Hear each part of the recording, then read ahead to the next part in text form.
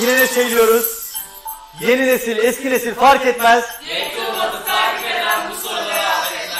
Merhaba sevgili arkadaşlar. Ben matematik öğretmeni Yıkılmat Yasin Kara.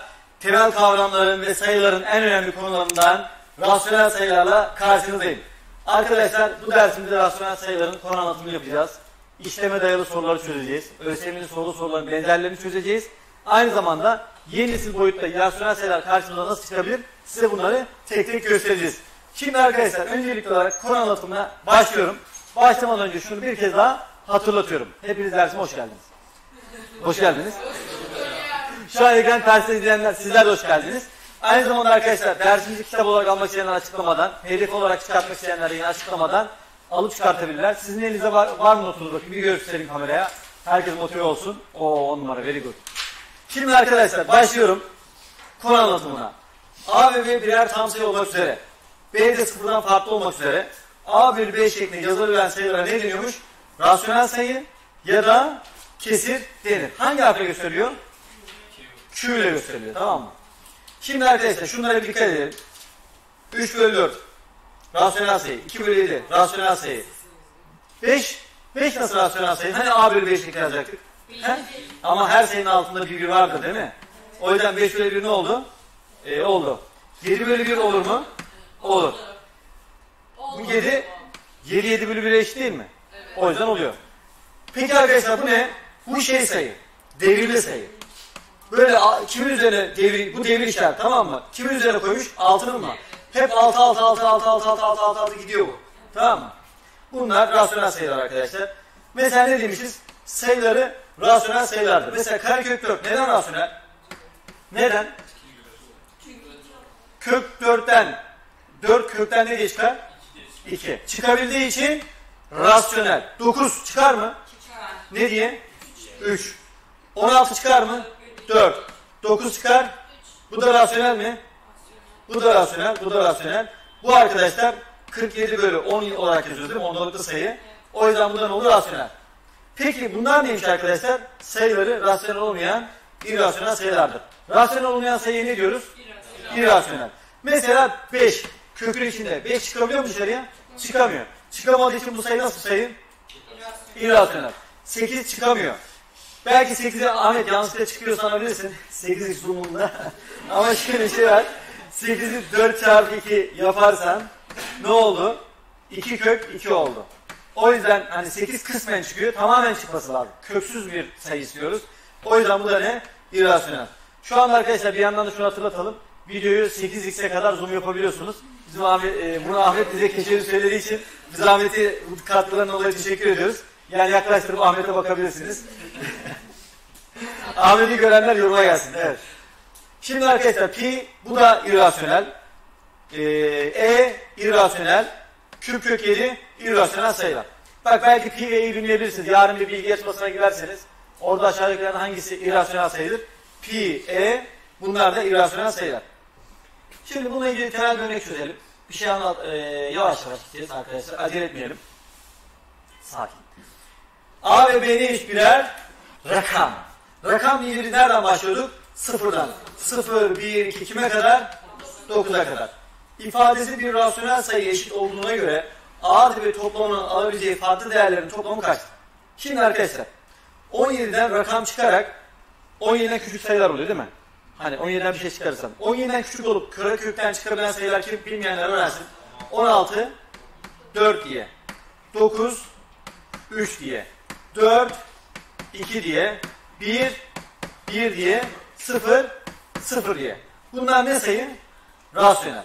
Şimdi şu sayı bir rasyonel sayıymış. O zaman bu sayı bir rasyonel sayıysa bu köklerin içinden bu sayılar ne olmalı? Tam çıkabilmeli. Tamamen çıkabilmeli. Peki A'ya ne verirsem tamamen çıkabilir. Mesela 17'den ne çıkarsa olur? A'ya 1 veririm arkadaşlar. 17'den 1 çıkarsa ne oldu? 16. 16'a bak ne oldu? 4 oluyor. Başka burayı 9 eşitleyecek sayı bulalım. 8. 17'den 8 çıkarsa ne olur? 9 çıkar. Başka ne olabilir? Bir dakika. 4 için A 13 olur değil mi? Değil mi? Değil mi? Olmaz. Neden? A ve B birer neydi? Rakam. 13 ne? Sayı. O yüzden burada ne yapıyorsun? Stop. İşte burada kaçırdıysan bizim o en başta anlattığımız temel kavramlar ve sayılar dersine geri dönmek zorundasın. Demek bir yerleri olup bilmiyorsun ya. Hasp biliyorsun. Bu kadar. Şimdi kime geldik? Şeye. B'ye. 21'den büyük çıkabilen sayılar kim? Mesela 25. 5 diye çıkar. Mesela 36. 6 diye çıkar. 49. 7 diye çıkar. Bak temelinde çok sıkıntı olan arkadaşları da burada kurtardım. B'ye ne verirsem olabilir? 4 versem 25, 5. 36 olmasın B'ye vereceğim 11. Olur mu? Olmaz. 11 ney? Sayı. Sayı. Rakam değil. Tamam. Süpersiniz bugün. Tamam bulduk işte. Ee, A harfinin toplamının alabileceği farklı değerler toplamı. A1, B4 olabilir. Topla 5. A8, B4 olabilir. Topla 12. Bunları da toplarsan kaç yapar? 17 yapar. Doğru mu? Evet. Burada gördüğünüz gibi arkadaşlar temel kavramlar kendi içinde bir tekrar diyor değil mi? Evet. Dersin başı çok kolay arkadaşlar. Yani şunu söyleyeyim. Ee, kaç soru var yaklaşık burada? 29 soru olması lazım. Gittikçe zorlaşacak. Hani her zaman Ahmet'in şu örneği veriyorum. 5 yaşındaki bir çocuk seni ne kadar dövebilir Ahmet? Dövemez yani yanaşamaz bile. Biraz dövebilir belki ama yani şunu demek istiyorum. Rasyonel sayılar zor bir konu değil. Zor, zor olan kısmı şu sadece. KPSS, DGS, ALES'i incelediğimiz zaman orada sayısal mantıkla belki bu konuyu tekrar ele alabiliyorlar. Yeni nesil boyutta. Ama TYT'nin ilk sorusu bu. Biliyorsun değil mi? YKS'nin, TYT'nin, MSÖ'nün ilk sorusu rasyonel sayılar. Olmadığı istisna bir sene yok. İlk sorumuz bu. O yüzden e, yani her arkadaşlara hitap etmiş olalım. Şimdi kesir çeşitlerine bakalım. Arkadaşlar işaretlerine bakılmaksızın bak Yuşa işaretlerine bakılmaksızın payı paydasından küçük olan kesirlere ne deniyormuş? Basit kesir. Payı paydasından küçük olacak. Örnek verelim. 4 bölü 7 basit mi? 3 bölü 8 basit mi? 8 hariç her şeyi yaptım. Evet. Peki eksi 2 bölü 7 basit mi? Basit. Bakın ya buradan 0 ile 1 arasında olacaksın ya da buradan 0 ile eksi 1 arasında olacaksın. İşaretlerine bakılmaksızın. İşaret bakmak yok. Önemli bir detaydır. Basit kesiri bileceğiz. Basit kesir ne demekmiş o zaman? 0 ile 1 arasında ya da eksi 1 ile 0'ın arasında. Geçiyorum aşağıya. İşaretlerine bakılmaksızın payı paydasından küçük olmayan bakın payı paydasından küçük olmayan büyük veya eşit olan kesirlere denir. Mesela eşit olması da yetiyormuş bak burada bileşik kesire. Şuna dikkat edelim arkadaşlar. Yani a bölü b ya eksi birden daha küçük ya da eksi 1'e eşit olacak ya da a bölü b 1'e birden büyük ya da 1'e eşit olacak. Bu da neresi oluyor bakın. Ekranda boyamışım. Şurası. Burada da neresi oluyor arkadaşlar? Burası oluyor. Bunu gördük. Şimdi mesela değerlendirelim. Şu nasıl bir kesir? Bileşik kesir. Peki şu neden bileşik kesir arkadaşlar? Bu ne demek biliyor musunuz? Bakın onu ben bir göstereyim size. 2 tam 1 bölü 7. Bunu bileşiğe nasıl çeviriyorsunuz? 2 kere 7 14. Bir ekle 15 bölü ne oldu? 7. Şimdi arkadaşlar şuna bakalım. 3 tam 0 bölü 5'e bakalım. 3 kere 5 15'e 0 ekle 15 15 bölü 5 oldu. Bak payı paydasından büyük mü? Büyük. Payı paydasından büyük mü? Büyük. Mesela 7. Bileşik kesimi basit mi? Basit. Mi?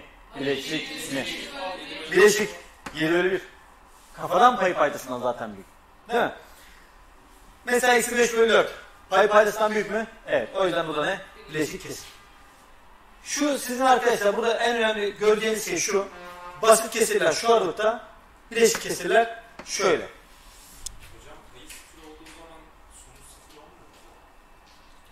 Bak sen burada 3 çarpı 0 bölü 5 ile karıştırıyorsun Yusuf'cığım. 3 çarpı 0 bölü 5 değil bu. Bu tam sayılı kesir ya. 3 kere 5 15. 15'e 0 ekle 15. 15 bölü 5. Burada neticede tam kaç? 3 tam. Güzel bir soru sordun. Seni tebrik ediyorum. Ekranda şu anda senin gibi düşünen ve soramayan, çekinen arkadaşım Gülşah'ya destek yorum yapsın. Gülşah İban numaranı ver. Mı Yusa bir karar ver. Yorumlara yazacağım hocam. Tamam bunlarla buluşalım. 8 üstünü yaparak bulun arkadaşa. İban'ını kaldı. Hocam kameranın önünde çok geçiyorsun. Evet kameranın önüne çok geçmeyin. A bir rakam olmak üzere. Kesir basit kesir olduğuna göre A'nın alabileceği farklı değerlerin toplamı kaç? 3. En ilkel, en gariban sayı kaç? Sıfır. Sıfırdan bir değer başlayalım arkadaşlar. A'ya sıfır ver. Rakam diyor ya. Sıfır. 1 artı sıfır. 1. 7'den sıfır gitti. Ama gene Yedi. toplamada bir değer olmaz ki. 1 verelim şimdi. Evet o da olur. 1 1 daha. 2. 2. 7'den 1 gitti. 6. Bas kesir hala. 3 verelim. 1 3 daha. Olmaz hocam. 4. Evet. 7'den 3 gitti. 4. Niye 2 vermediniz? Bravo 2'yi atladım. Tamam 2'yi şurada vereyim. 1 2 daha. 3. 7'den 2 gitti. 5. 2 oldu değil mi? 0 oldu 1 oldu. 3'e bakalım. Olmaz hocam. 1 3 daha. 4. 7'den 3 gitti. 4. Oluyor mu? Olmaz hocam. 4 bölü 4. Küçük olması gerekiyor. 1 bölü 1. Bu basit kesirleri niye kesir? Bileşik. Bileşik. Çünkü pay paydasına eşit. Peki arkadaşlar daha sonra değer vermeye gerek var mı? Yok. Mesela A'ya ne verelim? Uğraşma. 4. Ne olur? 1 4 daha. 5. 7'den 4 giderse 3. Yani burada artık pay inanılmaz bir şekilde büyüyor. Doğru mu? Evet. Payda da İnanılmaz bir şekilde. küçülüyor. Dolayısıyla bir daha böyle bir şey olma şansı var mı? Yok. O zaman bu sorunun cevabı kaç? 3. Anladığı farklı değerlerin toplamı kaçtır diyor. Toplayalım. 0. 2 daha 2. 1 daha 3. 3. Cevap 3. Burada değer vereceksin. Bak işte temel kavramlar bilgin yerindeyse rakam bak hop ne yapıyorsun? Dikkat ediyorsun. Ama temel kavramlar derslerini kaçırdıysan sıkıntı. O yüzden arkadaşlar bu seride hiçbir dersi kaçırmayın.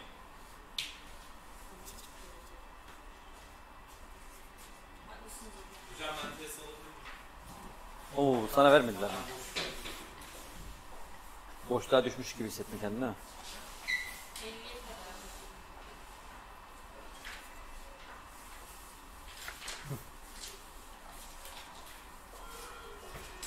Şimdi geçelim arkadaşlar toplamaya çıkarmaya. Geçiyorum. Dediğim gibi hani bu dersin hani rasyonel sayılar dersin ilk dersi basit olacak. İkinci ve üçüncü derste belki aralıktan hızlı olacaksınız. Yaklaşık olarak 29 sorumuz var. Ben burada yeni nesil, eski nesil tüm soruları çözeceğim. Gördüğünüz gibi eski nesilden alıyoruz. Sonra yeni nesilde de böyle çıkabilir diyoruz. Ve sorularımızın hakkını veriyoruz dediğim gibi. Toplama ve çıkarma. Payda eşitlenecek biçimde kesirler genişletilir ya da sadeleştirilir. Oluşan kesirlerin payları toplanır ya da çıkarılır. Ortak payda alınır. Mesela arkadaşlar şu an paydalar eşit mi? Eşit. Paydayı ne yaptım? Mesela A bölü X ile B X'i toplarken ne yaptık arkadaşlar? Paydayı aynen yazdım. Doğru mu? A ile B'yi de ne yaptım? Aradaki işareti uyguladım. A artı B. Çıkarken ne yaptım bakın arkadaşlar? Paydayı aynen yazdım. Burada A var, burada B var. Ne oldu? A eksi B oldu. Peki paydalar farklısı ne yapacağız? Payda eşitleyeceğiz. Ya iki paydanın ekokunu alın ya da arkadaşlar bunu bununla, bunu bununla çarpın. C'yi D ile genişletiyorum. D'yi C ile genişletiyorum. M ile D'yi çarptım. M D. C ile N'yi çarptım.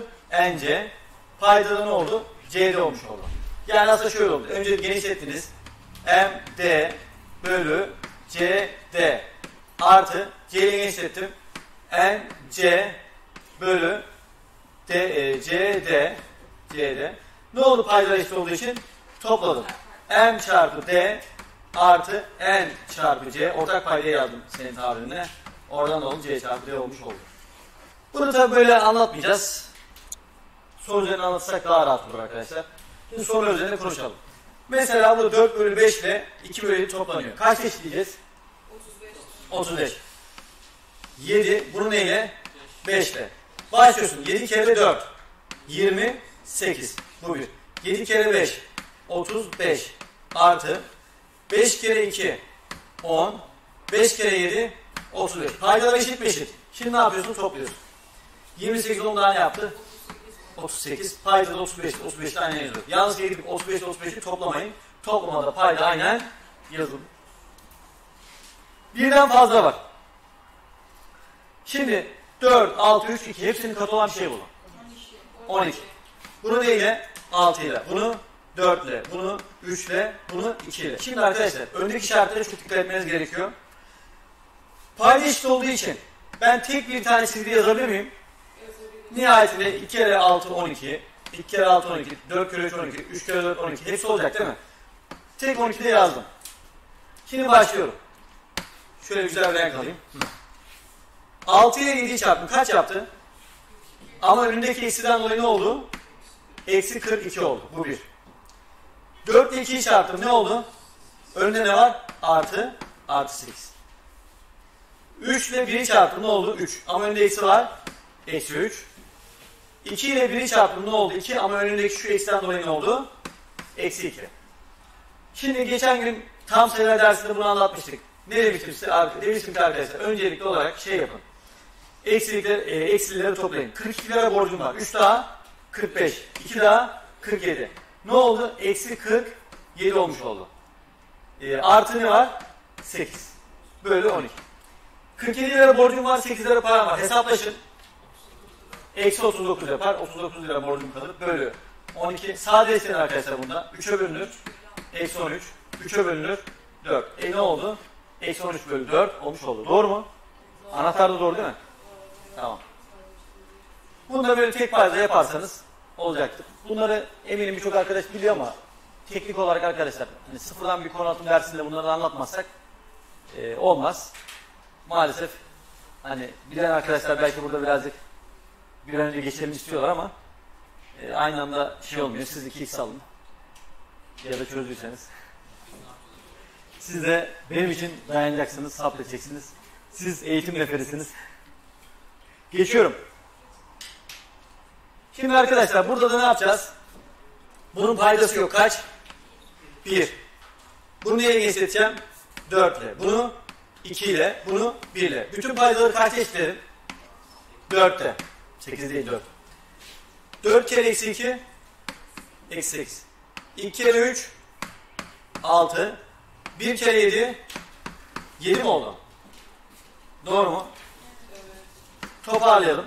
7 lira param var. 6 daha var. 13. 8 lira borcum var. Hesaplaş. 5 lira param kalır. O yüzden 5 bölü 4 olacak.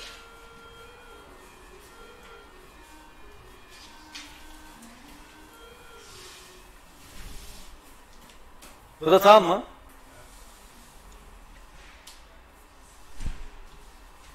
Şimdi arkadaşlar çarpma ve bölmeden bahsedeceğiz. Çarpma ve bölmede neymiş? Pay ile pay, payda ile payda çarpılarak bulunur. Bakın A ile C'yi çarpmış, A çarpı C. B ile D'yi çarpmış, B çarpı D. Bir tane örnek yapalım konuyu anlamak için. Bunun paydasında ne var? 1. 3 kere 2, 6. 6 kere 4, 24. 7 kere 5, 35. 35 kere 1, 35. Sadeleşir mi? Hayır.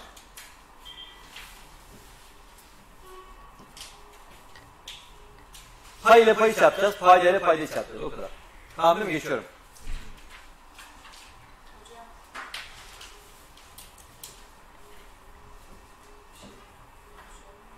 Şimdi bölme ve çarpmayı anlatacağız. Açtı dersi. Şimdi birinci kesir aynen yazılır. İkinci kesir ters çevrilir ve bu kesirle ne yapılır? Çarpılır. Mesela A bölü B bölü C bölü D. Ne yapmışız arkadaşlar? A bölü B'yi aynen yazdık. Bakın bu kesiri aynen yazdık. İlk kesirimiz. C bölü D'yi de ters çevirip çarptık. D bölü C olmuş oldu. Mesela burada bir tane yapalım. 2 bölü 5. Bunu ne yapacağız arkadaşlar 7 bölü 3'ü? Ters çarpıyoruz. 2 ile 3 çarpın 6. 7 ile 5 çarpın 35. Bitti. Şimdi gelelim şuna. Şimdi arkadaşlar burada mesela çok karıştırılan bir şey var. Özellikle öğrenciyken ben burada bir nefret dolusu bir his vardı içimde. Şu büyük çizgiye dikkat edin diyor. Önce büyük çizgiyi bir çizin. En büyük çizgi şu mu? Tamam.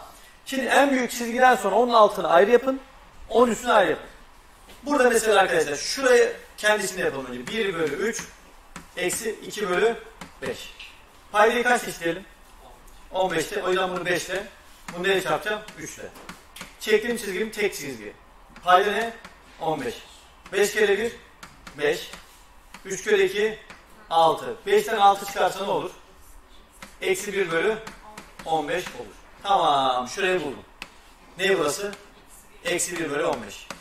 Şimdi şu çizgiye de dikkat ettik ya. Çizginin üstündeki ifade 2 bölü 5. Bununla bunu ters, bunu ters çevirip çarpacağız. Ters çevir bunu. Eksi 15 bölü 1. Geçen derste hatırlayın. Buradaki eksi ne yapabiliyor? İstediği gibi yerleştirebilir değil mi? Yani aşağıda olabilir. Kesit çizgisinin önünde olabilir. Böyle yaptım. Artık hala gelmedim. Ee, çarpalım sadeleştirelim mi?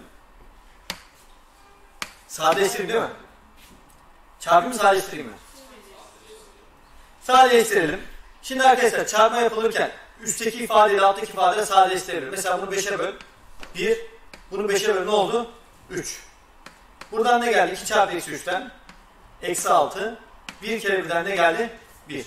Kısacası buradan ne gelmiş oldu? Eksi 6 bölü 1'den. Eksi 6 mı geldi? Peki burada ne vardı? 2 artı. Şu çizginin karşılığı ne geldi arkadaşlar komple? Eksi 6 mı? Şöyle olsun. Artı ile eksi çarpı ne oldu? 2 eksi 6 olmuş oldu. Bu da ne yapar? Eksi 4 yapar. Siz öyle mi buldunuz? Evet. Doğru değil mi? Hata var mı?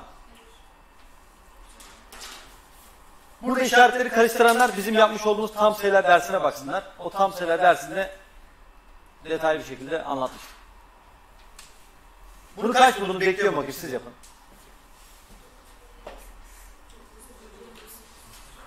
Hemen mi yaptınız ya? Geçen tam sayılarda hata yapıyordunuz da.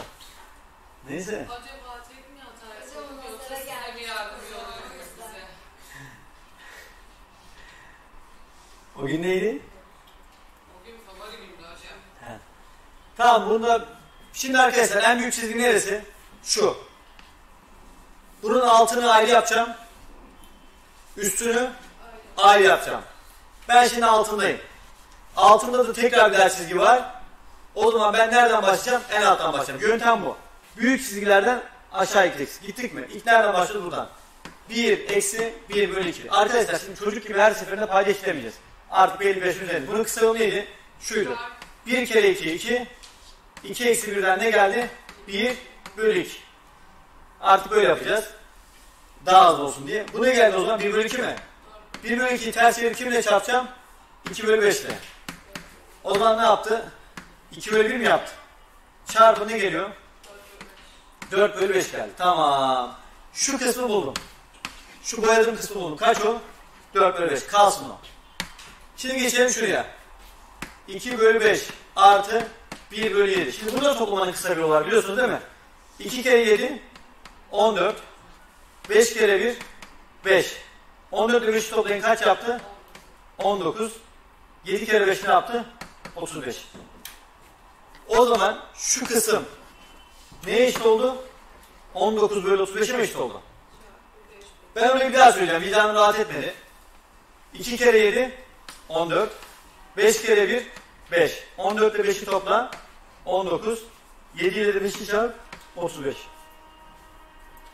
Şimdi bu renk hangi renk? Mor. Mor.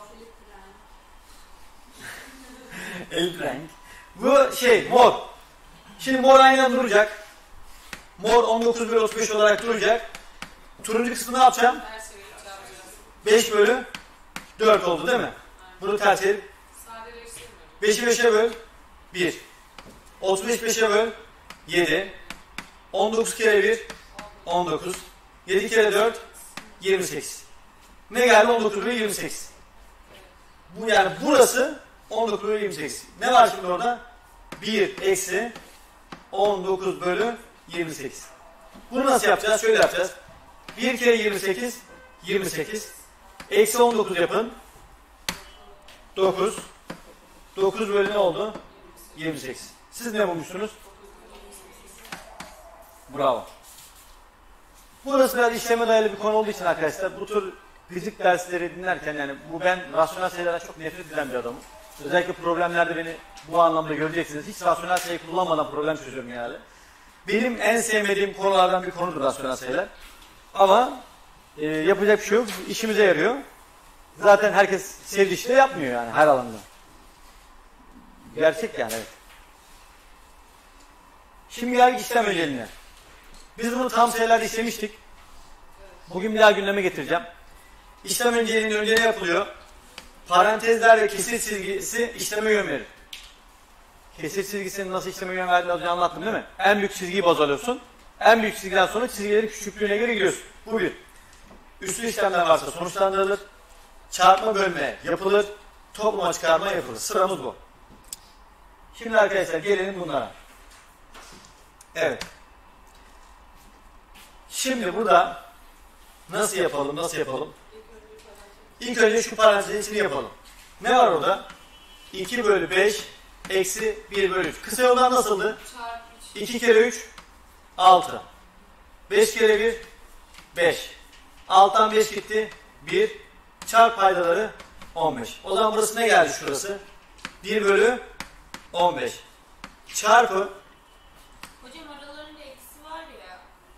E, eksi 5 diye mi alacağız? Ya da ne yapacağız o eksi? Eksi diye de şu eksiği mi? pozitif alıyorsun sonra çıkarıyorsun. Ya eksiği 3'e ver ya da 8'e ver. Neyi vermek istiyorsan ver ama şöyle olsun. Eksi yukarı verelim. Hayır hocam öyle değil. Şu yaptınız ya böyle çapraz deyip bir de altını çarptınız. Evet. Orada oraları eksi ya artı değil. Şöyle yaptım. Anladım dedi. 2 ile 3'ü çarptım. 6. 5 ile 1'i çarptım. 5. Sonra adı eksi olduğu için 6'dan 5'i çıkardım. 1. 5 ile 3'ü ne yaptım? Aynen yazdım. Seri olarak böyle yapılıyor bunlar. Hani aşağıda paylaştırmaya giderken beynim biraz kasabiliyor. Bu işte sosyal medyada da çok gördüğünüz bir şey oldu son zamanlarda. Burada da bölü 4, 1 bölü 4 var ya. Bölüyü ne yapıyorduk? Ters çeviriyoruz. 4 bölü 1 olarak yazıyoruz. Şimdi arkadaşlar bunu da sadeleştirme yaparak çözeceğiz. Sadeleştirmeye dikkat edin. 4'ü 4'e bölelim 1. 8'i 4'e bölelim 2. Bir yukarıdan bir aşağıdan bölüyorsunuz. 3'ü 3'e bölelim 1 ama eksisini unutma. 5'i 15'i 3'e bölelim 5. Yukarıda kalanları çarpalım şimdi. 1 kere eksi 1 eksi 1 eksi 1 kere 1 eksi 1. Aşağıları çarpalım.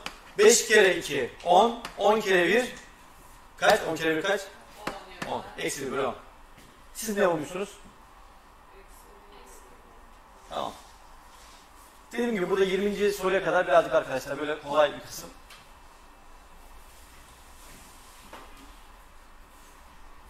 Aman burayı da anlatmadan olmuyor. Yıllardır anlatmadım. Gerçekten şu kısmı yani yıllardır bana yalvarıyorlar YouTube'da anlatmadım. Hiç anlatmadım. Bu konuyu ilk defa anlatıyorum. Onu da siz olmasanız yine herhalde anlatamam yani.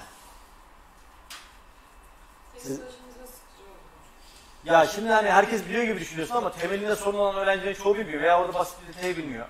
Mesela şu gösterdiğim yöntemde soru çözmek çok eğlenceli oluyor. Çarpıyorsun ya yukarı. Gelelim şuna. Şimdi arkadaşlar ilk başta ne yapılıyordu? Çarpma. Çarpma ile bölme yan yanaysa ne yapıyorduk? Soldakine. Şimdi burada çarpmayı yapacağım. Ama nasıl yapacağım arkadaşlar? Sadeleştireceğim. 2 2'ye bölelim. 1. 2 2'ye bölelim.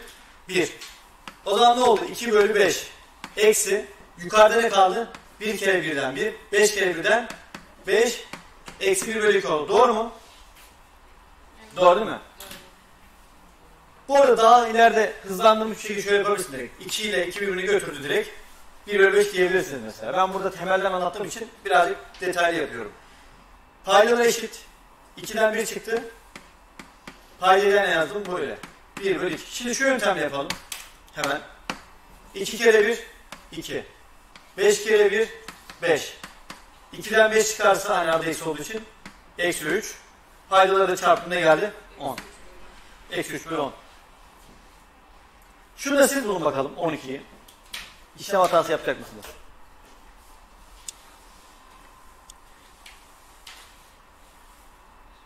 Bu da son sorumuz olabilir. Ondan sonra bir mola verelim. Sen mi?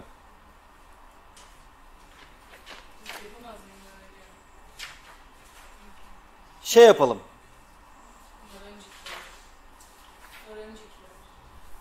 He anladım.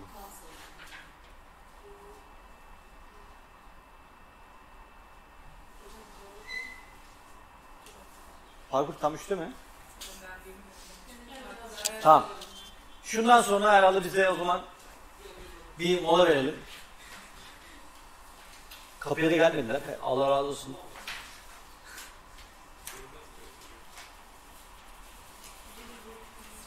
Niye garip?